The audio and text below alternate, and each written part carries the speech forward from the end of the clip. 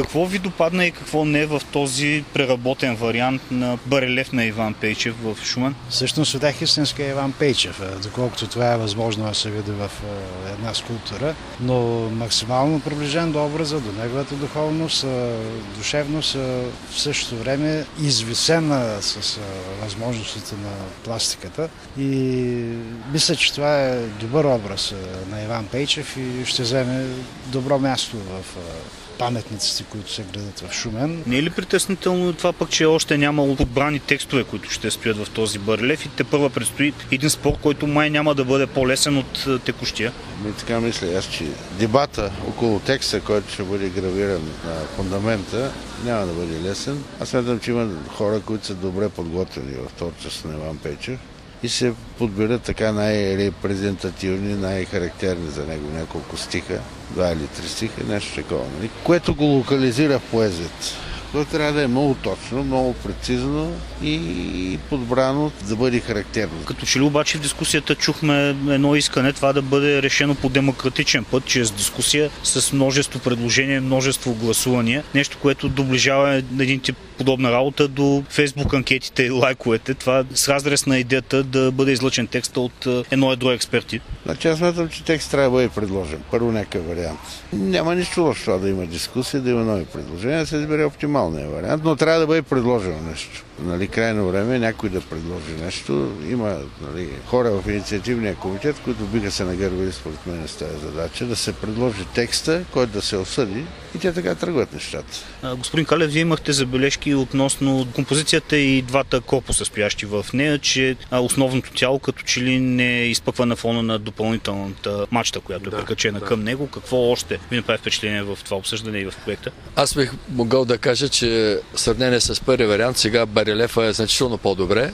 Действително има излъчване образа на Иван Пейчев. Композиционно също замисъл е добър, но за мен е кафявата тоналност не ми харесва. Това е едно. И второ материала. Значи моето мнение е, че централното тяло, което символизира мачтата, корабната мачта, аз го виждам като черен полиран мрамор, на фона на който бронзове облик на поета много добре ще стои, а платното да бъде изпълнено друга тоналност, ако може бяло, това бях му казал на Валери. Действително пряка релация да има с корабно платно, с малко по-голяма кривина и това ще бъде едно добро решение. Ако нощем се осветява също, ще бъде добре за паметника. Смятам, че при такова изпълнение вече можем да се гордеем, че има един добър паметник на Иван Печев. Притеснително ли е, че на обществено обсъждане видяхме само един от двата състезаващи се проекта и това става ли състезание само с един кон? Не е чак толкова притеснително. Аз предполагам, че предното обсъждане, обсъждането, което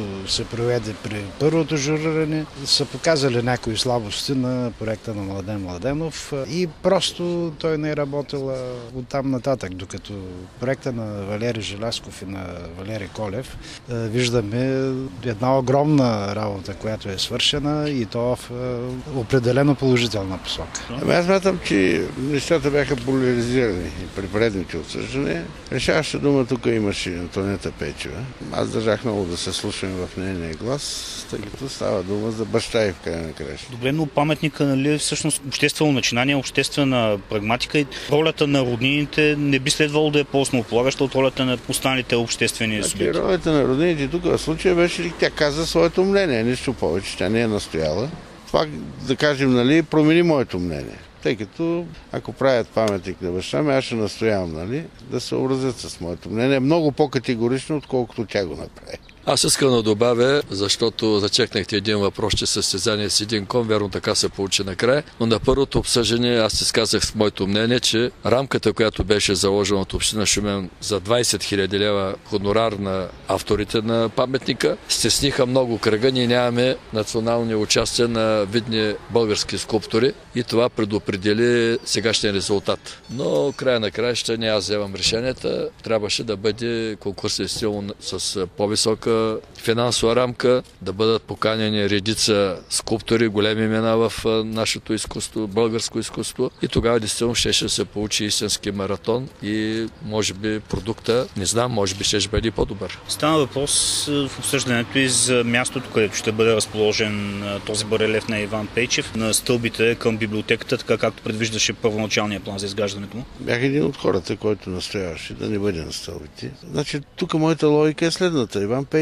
има особено място в българската поезия. Значи, когато ситуираме неговия паметник, той също трябва да има особено място. Смятам, че не може Иван Печев да те пречаква на сълбите, с което да свикнеш и да не му обръщаш внимание. Трябва да направиш малко усилие, да накачиш няколко стъпала и да стигнеш до Иван Печев. Така беше за всички, които имат отношение към литература, докато той беше жив. При него се ходеше на поклонение. Той беше мит при живе. А не се ли радват на най-голям интерес последните години, като че паметниците, които предполагат някаква социализация и социални пространства около тях? Сещам се за пейката, примерно на площад Славейко в София. Значи площад Славейков, то е литературно маркирано място. Навсякъде на площад Славейко в София, това е средището на литературата. През годините, които аз помня така, моето литературно битие, там беше място, където срещаше хората, които цениш, уважаваш, които искаш да видиш. Нали. Това беше този триъгълник. Съюза на писатели, Съюза на журналистите и Витис. Това е място, където трябва можеш да поставиш дори Шекспир да седне на тебе до пейката. Аз не виждам нищо лошо в това. Докато едно провинциално пространство, нещата са малко по-различни. Нали? Тук акцента е поставен върху историческите паметници, върху паметници на хора, които имат харизма историческа.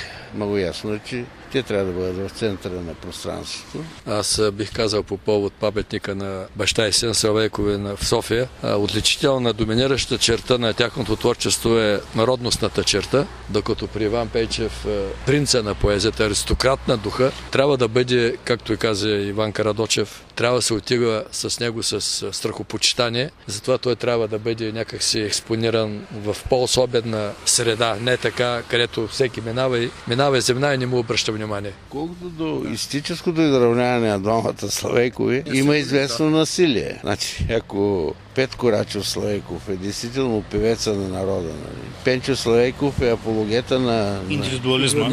Индивидуализма, нали? Въпреки Кърва песен, останалото му творчество, то е много индивидуалистично, но е част от нашата културна традиция и то е висока част, нали? която аз ценя особено. И там виждам приемственост между две тенденции. Не можем да ги обединим двата, нали? Освен кръвно, нали? В известна степен те са опозиция естетическа. А ще успее ли този барелев, направен от Валери Желясков и архитект Валери Колев, да покаже пък и двете лица на Иван Пейчев? Стана просто, че той не от поетите с монолитна поетика и монолитно творчество. Значи от тук нататък всичко е в техните ръце, според мен. Нали, комисии ти казаха, да, вашия проект е. От тук нататък ние го видяхме в глина. Предстоят няколко, както през насекомите, минаване през различни материални фази, през гипс, през бронз, през полиране, през патиниране. Аз надявам да случи нещо добро.